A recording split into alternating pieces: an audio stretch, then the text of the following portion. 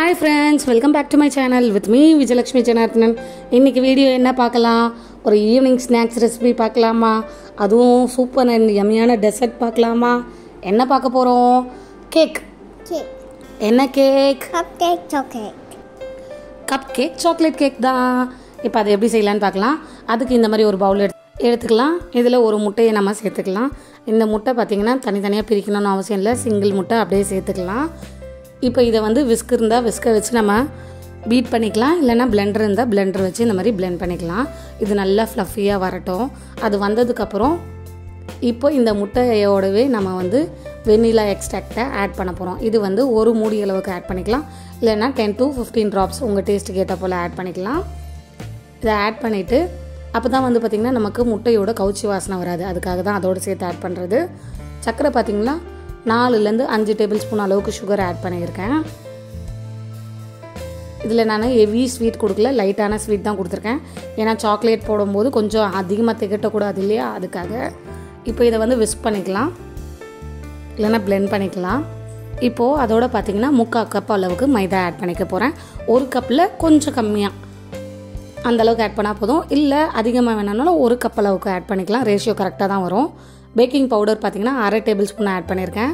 Cocoa powder பார்த்தீங்கன்னா ஒரு table spoon இல்லைன்னா ரெண்டு டீஸ்பூன் அளவுக்கு ஆட் பண்ணிக்கலாம். ரெண்டுமே உங்களுக்கு ஈக்குவல் ரேஷியோ தான் வரும். இதை ஆட் பண்ணிவிட்டு இப்போ நாம் பீட்ரு ஸ்டார்ட் பண்ணாமல் லைட்டாக இந்த மாதிரி மிக்ஸ் பண்ணிக்கலாம்.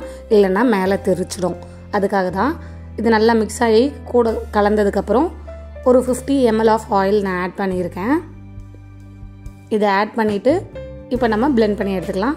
ஆயிலுக்கு பதிலாக நீங்கள் பட்டர் கூட ஆட் பண்ணிக்கலாம். பட்டரும் நல்லா ஃப்ளஃபி அண்ட் சூப்பராக இருக்கும். இப்போ இந்த மிக்ஸ் ரெடி ஆயிடுச்சு. இப்போ இதெல்லாம் நம்ம ஒன்றா சேர்த்து எடுத்து வச்சுட்டு ஒரு ட்ரே எடுத்துக்கலாம். அவனில் வைக்கிறதுக்காக. அந்த ட்ரேயில் பார்த்தீங்கன்னா உங்களுக்கு இப்போ ஈஸியாக கடையிலேயே அவைலபிளாக இருக்கும். இந்த மாதிரி மஃபின் மோல்ஸ்ன்னு சொல்லுவாங்க. இல்லைனா கப் கேக் மோல்ஸ்ன்னு சொல்லுவாங்க. அதில் கொஞ்சம் கொஞ்சமாக இந்த மாதிரி பிரித்து பேட்டரை ஈக்குவலாக எடுத்துக்கலாம். இப்போ இந்த பேட்டர் எப்படி ஃபில் பண்ணணும்னு பார்த்தீங்கன்னா அந்த கப் ஃபுல்லாக ஃபில் பண்ணிங்கன்னா நமக்கு கேக் வந்து வெளியே பர்ஸ்ட் அவுட் ஆகிட்டு வந்துடும் அந்த மாதிரி இல்லாமல் அந்த கப் கேக்கில் வந்து ஒரு பாதி கப் அளவுக்கு ஃபில் பண்ணாவே போதுங்க. உங்களுக்கு ஈஸியாக அந்த சர்டைனான ஹைட்டை ரீச் பண்ணிவிடும் இல்லைனா மேலே வந்து பர்ஸ்ட் அவுட் ஆகி கேக் வந்து வெடிச்சிடும் அதனால் பாதி கப் அளவுக்கு ஃபில் பண்ணால் போதும். இப்போ ஃபில் பண்ணியாச்சு.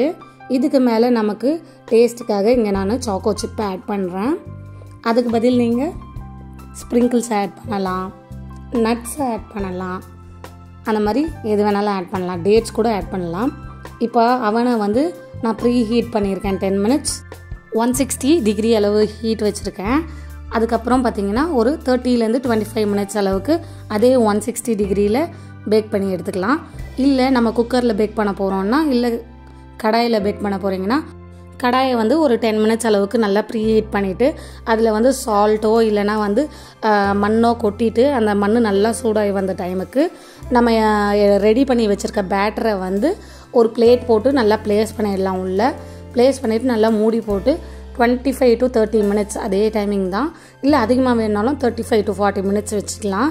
அந்த டைமிங்கில் வச்சு நம்ம பேக் பண்ணி எடுத்தோம்னா நமக்கு கடாயில் இந்த மாதிரி கேக்ஸ் ரெடி ஆகிடும் இப்போ கப் கேக் ரெடி ஆகிடுச்சு இதை வந்து ஈவினிங் ஸ்நாக்ஸாகவும் நீங்கள் சாப்பிட்லாம். இல்லைனா வந்து ஃப்ரெண்ட்ஸ் ஃபேமிலி கூட இந்த மாதிரி கிஃப்ட் பண்ணலாம் ஆக்சுவலாக கெட் டுகெதர்லாம் போவோம் இல்லையா? அந்த டைமுக்கு பேக் பண்ணி எடுத்துகிட்டு போகலாம் உங்களுக்கு இந்த மாதிரி என்ன வீடியோ தெரிஞ்சுக்கணும் இல்லை என்ன ரெசிபி தெரிஞ்சுக்கணும்னு ஆசைப்பட்டீங்கன்னா நீங்கள் தாராளமாக என் கூட கமெண்ட் செக்ஷனில் கமெண்ட்டில் ஷேர் பண்ணிக்கலாம். அந்த ரெசிபி அந்த வீடியோவை எடுத்து உங்களுக்காக உங்கள் கூட நான் கண்டிப்பாக ஷேர் பண்ணுவேன். உங்களுக்கு வேறு ஏதாவது டவுட் இருந்தாலும் என் கூட கமெண்ட்லேயே நீங்கள் ஷேர் பண்ணிக்கலாம். அதுக்கு கண்டிப்பாக நான் ரிப்ளை பண்ணுவேன்.